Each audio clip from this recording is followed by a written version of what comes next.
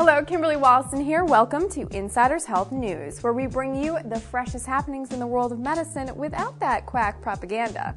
Today, we'll be talking about a man that could hear his own eyeball move and the rare problem that caused it.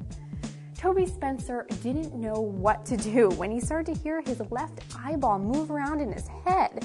It was a new and disgusting bodily mystery that had him turning on a fan in any quiet room so that he wouldn't be distracted by the noisy look arounds.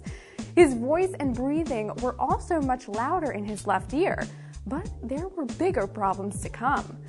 Soon enough, if Spencer turned his head too quickly, it felt like he was falling sideways, and loud noises would cause him to lose his balance.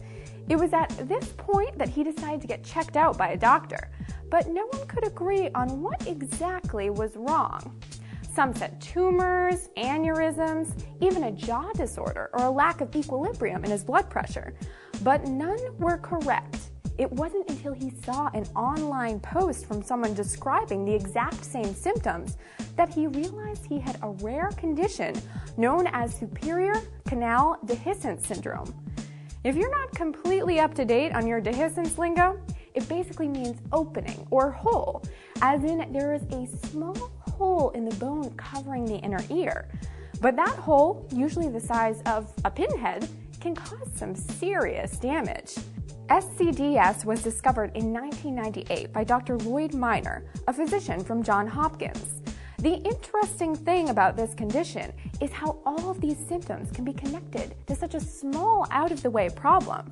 As for the sufferers, they usually opt to do nothing because after diagnosis, they just learn to live with this non expanding issue.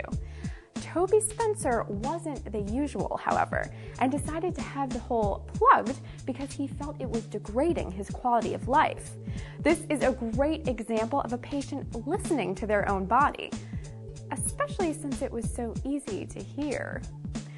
That's it for this edition of Insiders Health News. I'm your host, Kimberly Walston, and remember, it's your health. We're just helping you think outside the box.